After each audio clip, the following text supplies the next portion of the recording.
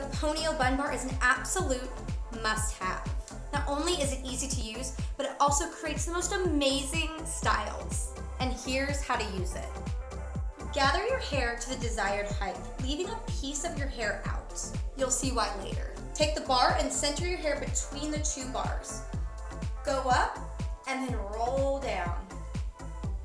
Once you've hit your head, you're going to bend the piece back, fold the ends in to overlap, and then take your hair and wrap it to cover the bun bar. Now give it a really good squeeze.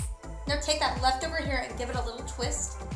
Hold your bun and wrap it in the crevice of your bun. And that's gonna really tighten everything up and make it super slick and secure. Now if you want your bun even bigger, take your fingers and just give a couple little tugs. The more you tug, the more your bun will grow.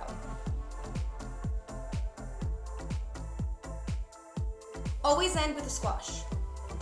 And there you have it, the perfect bun with Ponyo's Bun Bar. Now if you have super thick hair, just leave more hair out, and then you'll just wrap it into the crevice.